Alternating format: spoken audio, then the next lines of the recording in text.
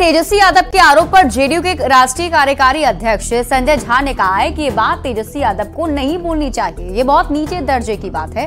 वो पूर्व मुख्यमंत्री रह चुके हैं, नेता प्रतिपक्ष हैं। उन्होंने कहा कि सत्ता पक्ष और विपक्ष सभी को नीतीश कुमार ने सम्मान से देखा है।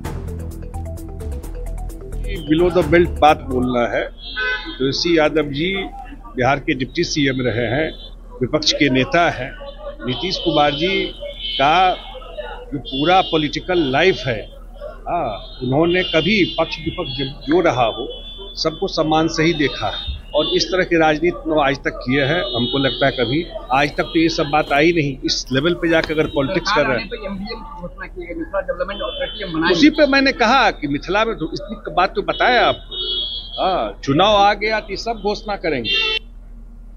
बेगूसराय के सांसद और केंद्रीय मंत्री गिरिराज सिंह ने तेजस्वी यादव के आरोप पर कहा कि आज तेजस्वी यादव मुख्यमंत्री पर स्पेशल ब्रांच और सीआईडी से जासूसी करवाने का आरोप लगा रहे हैं। लेकिन उन्हें इतना समझ नहीं है कि जिस वक्त उनके पिताजी का शासनकाल था तो सिर्फ़ हत्या, लूट और भ्रष्टाचार की सरकार चल रही थी। ऐसा कोई भी काम नहीं था जो उस वक्त नहीं हो रहा था।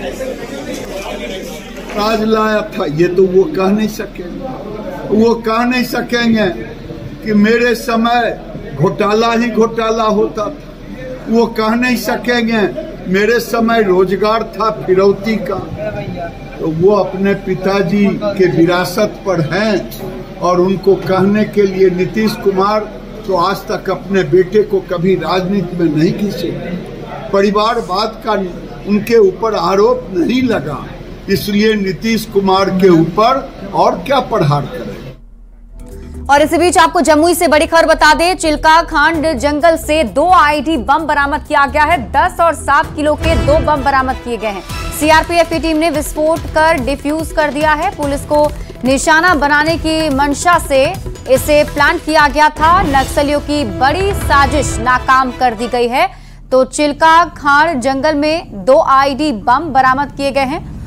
तस्वीरें आपकी टीवी स्क्रीन पर आपको दिखा रहे हैं। बताया जा रहा है कि 10 और 7 किलो के ये दो बम थे।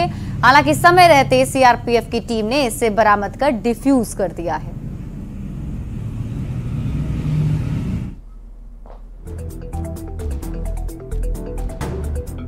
भागलपुर के सबौर प्रखंड के मसाढ़ू गाँव में गंगा का विकराल रूप लगातार देखने को मिल रहा है। गंगा लगातार गाँव के मकान के साथ साथ ज़मीन को अपने आगोश में लेती जा रही है और लगातार कटाव जारी है। इसके बावजूद भी फ्लड फाइटिंग का काम तेज गति से नहीं किया जा रहा है। गंगा नदी अपने आगोश में घरों को ले रही है और ज़मीन को भी। काफ़ी तेज़ी से कटाव हो रहा है।